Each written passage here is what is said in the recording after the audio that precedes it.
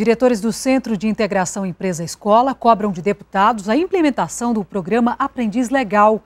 Dezenas de jovens aprendizes ocuparam as galerias pedindo a abertura de mais vagas para estágio. Eles buscam vagas no mercado de trabalho. Alguns já passaram por cursos de qualificação, mas ainda não possuem experiência profissional.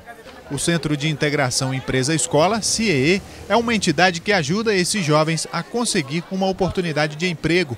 Nesta quarta-feira, diretores do CIEE e os jovens aprendizes foram até a Assembleia Legislativa cobrar o cumprimento de uma promessa de que teriam oportunidade de trabalhar no Poder Legislativo como aprendizes.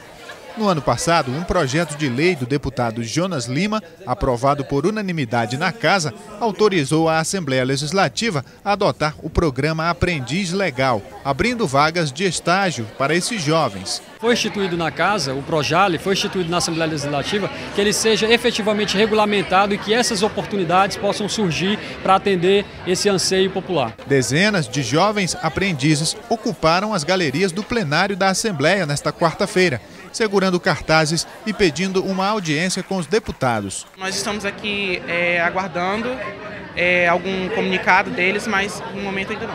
O programa Jovem Aprendiz foi instituído por uma lei federal que concede isenção fiscal às empresas que contratam esses jovens como aprendizes.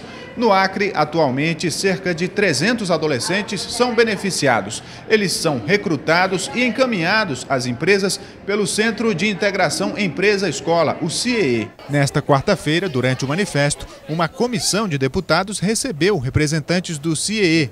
Segundo a presidência da casa, a falta de recursos foi o que impediu a abertura das vagas de estágio.